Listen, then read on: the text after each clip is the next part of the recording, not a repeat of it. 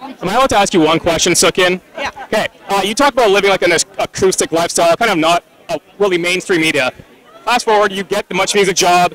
How did you find balancing between being part of the mainstream media with Much Music, but also still maintaining your lifestyle and was doing um, the fish, uh, uh, the fish theater? Oh no, I forget. Eyeball theater. Eyeball theater. My mistake. Was that kind of a way to keep who you were as a person? Uh, well, I, I'm I'm Chinese. I'm Cantonese, and if you act like a shithead and kind of like all fancy, it's not cool.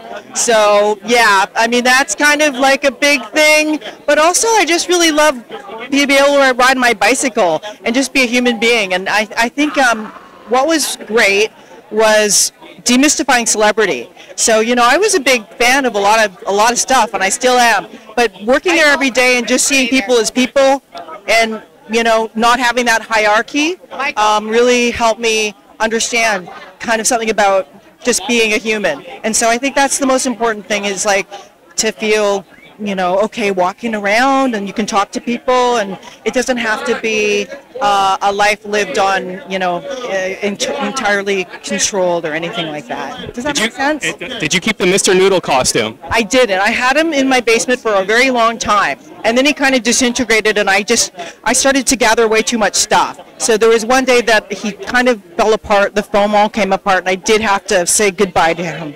Okay. Thank you so much. You're welcome.